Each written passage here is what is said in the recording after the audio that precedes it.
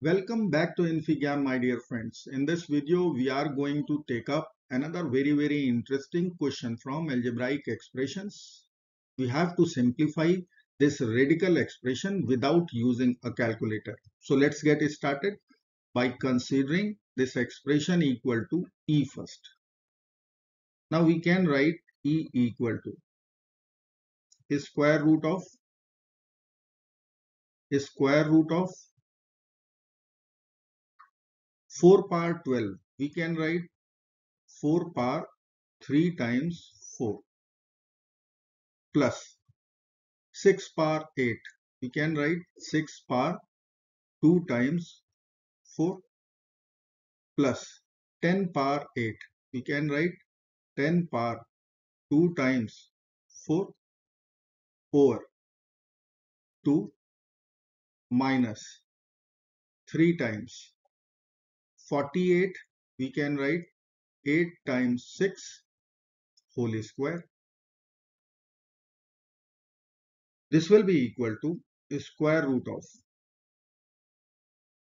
square root of 4 power 3 times 4. As we all know a power b times c can be written as a power b whole power c.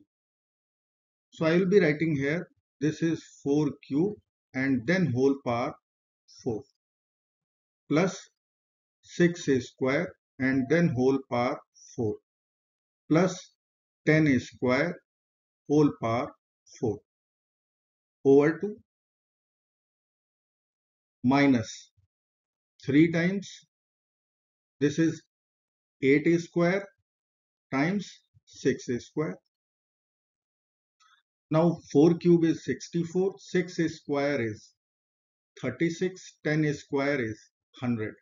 So we will be writing a square root of a square root of 64 power 4 plus 36 power 4 plus 100 power 4 over 2 minus 3 times 8 square is 64 6 square is 36. Let me write this expression E here. Now we will consider 64 equal to A. 36 equal to B. So I can write 100 equal to 64 plus 36. So this will be A plus B. So our expression we can write will be expression E square root of the square root of 64 this will be A power 4 36 power 4 will be B power 4 100 power 4 in this place we can write A plus B whole power 4 denominator is 2 here. Minus 3 times. This is a this is b. Now we will consider this is square root segment equal to x. So ultimately we are looking for square root of x minus 3ab so i will write here e equal to square root of x minus 3ab where x is square root of a power 4 plus b power 4 plus a plus b whole power 4 over 2. So we have to simplify x first.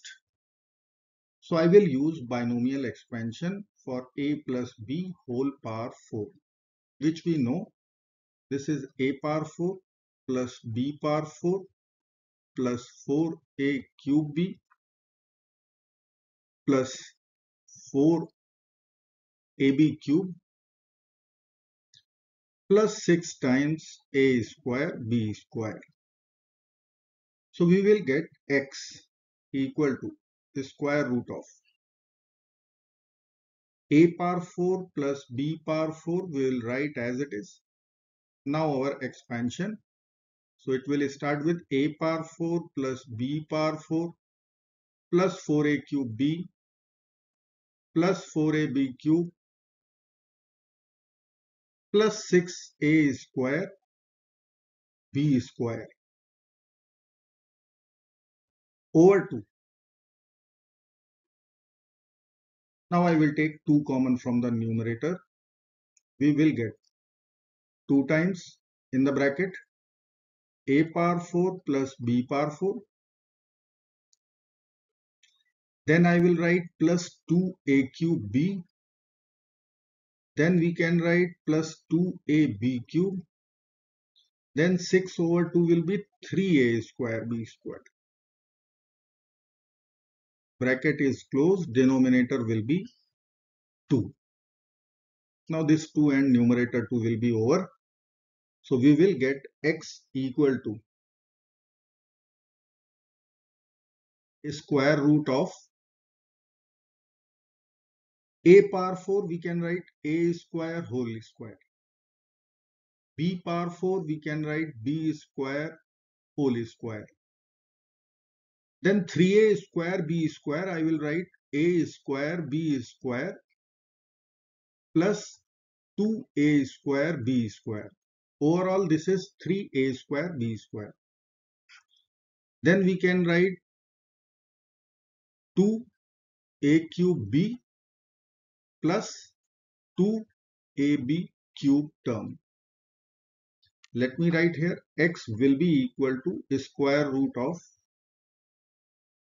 I will write a square whole square plus b square whole square. Then a square b square will be writing ab whole square. Then we will write 2a square b square as 2 times a square times b square. Then I will consider 2ab cube term which we will write 2 times b square times ab and then we'll be writing 2a cube b term which will be 2 times ab times a square. Now you can see this is one algebraic identity. If I will write m square plus n square plus r square plus 2mn plus 2nr plus 2rm this will be equal to m plus n plus r whole square. This is one algebraic formula and our radicand is matching with the same. So I can write here x will be equal to square root of a square plus b square plus ab whole square. Now this is square root and square will be over. We will get x equal to a square plus b square plus ab. Let me write here x equal to a square plus b square plus ab. And our expression in terms of x, if we will write, this was square root of x minus 3ab. Let's put the value of x. We will get a square root of a square plus b square plus ab then minus 3ab. This will be equal to square root of a square plus b square minus 2ab which is again one formula. This is a minus b whole square. Again we can cancel square root with a square.